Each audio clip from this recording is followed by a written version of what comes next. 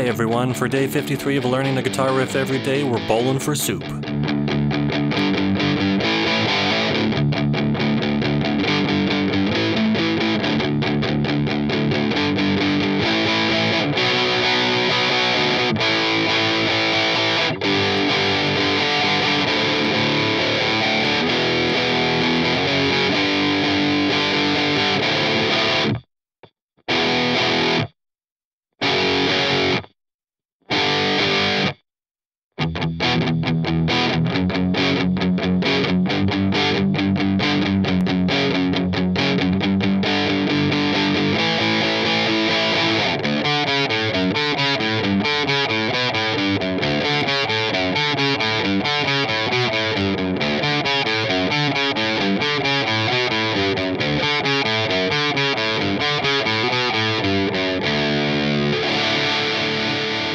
See you tomorrow.